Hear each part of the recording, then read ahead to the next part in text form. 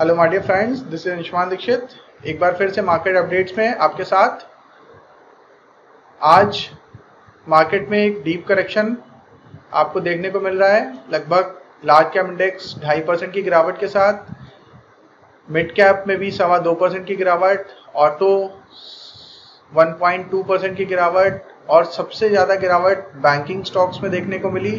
Bank Nifty लगभग साढ़े तीन परसेंट डाउन और जैसा कि आप पिछले चार पाँच दिन से देख भी रहे हैं मंडे से लगातार मार्केट में लार्ज कैप इंडेक्स को छोड़ के बाकी सारे इंडेक्स में करेक्शन आ रहा है। और निफ्टी और सेंसेक्स ने किसी तरह से अपने आप को होल्ड किया था। ज़्यादातर दिग्गज शेयर अपना बाईबैक ऑफ़र लेके आ रहे हैं। विप्रो का बाईबैक आया था टीसीएस का बाईबैक आया था। और कुछ कुछ आईटी सेक्टर्स में अच्छी न्यूज़ आई थी। प्लस रिलायंस में बहुत सारी अच्छी अच्छी न्यूज़ आ रही हैं। बीच बीच में नए नए इन्वेस्टमेंट्स आ रहे हैं। रिलायंस रिटेल बिज़नेस को फ्यूचर ग्रुप का अक्वायर कर रहा है। और एच के लिए कुछ अच्छी खबर थी। तो इस तरह से, किसी तरह से पिछले पाँच छः दिनों से लार्ज कैप इंडेक्स ने अपने आप को होल्ड किया हुआ था, गिरावट से। लेकिन आज market cues global cues negative होने की वजह से लार्ज कैप इंडेक्स भी अपने आप को बचा नहीं पाया।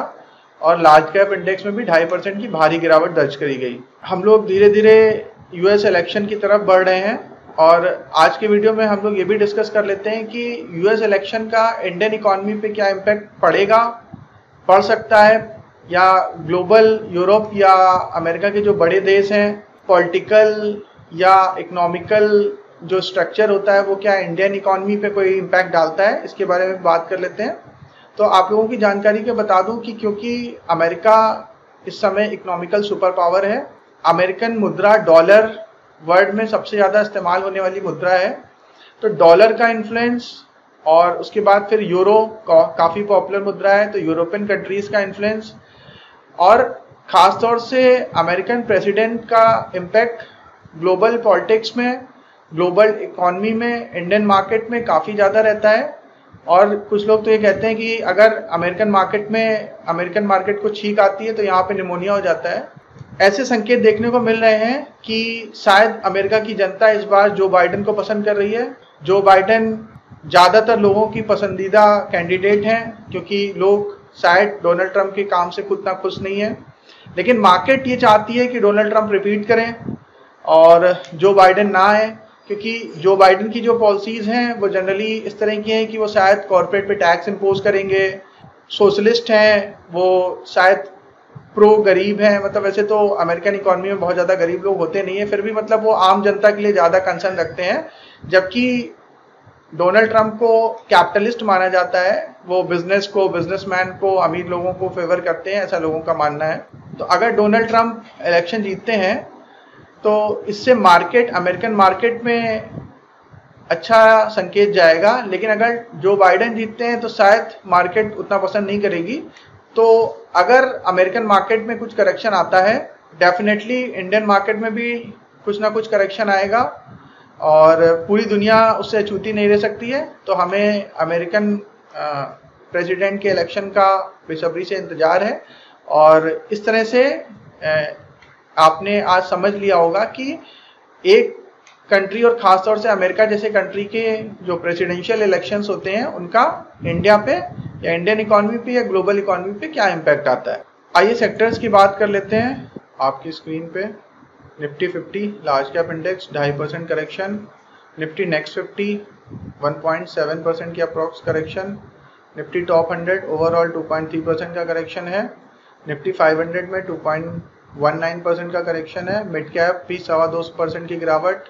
और डिफरेंट सेक्टर्स की देखें तो बैंकिंग सेक्टर लगभग साढ़े तीन percent down auto one point two percent down financial services approx three percent down FMCG में एक परसेंट की गिरावट आईटी में अप्रॉक्स तीन परसेंट की गिरावट मीडिया अप्रॉक्स तीन परसेंट की गिरावट मेटल आधा परसेंट की कमज़ोरी फार्मा में 1.85 परसेंट की गिरावट पीएसयू बैंक्स अप्रॉक्स तीन परसेंट, निफ्टी प्राइवेट बैंक्स साढ़े तीन के आसपास और निफ्टी रियल्टी 2.5 परसेंट की गिरावट के साथ बंद हुए हैं।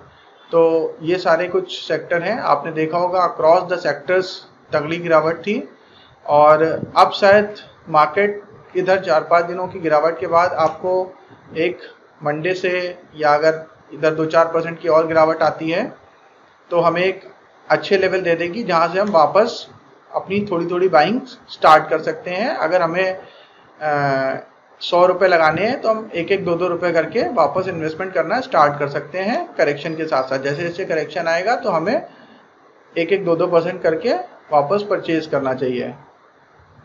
दिग्गजों का मानना है कि शायद फ्राइडे को थोड़ा और करेक्शन आपको देखने को मिल सकता है।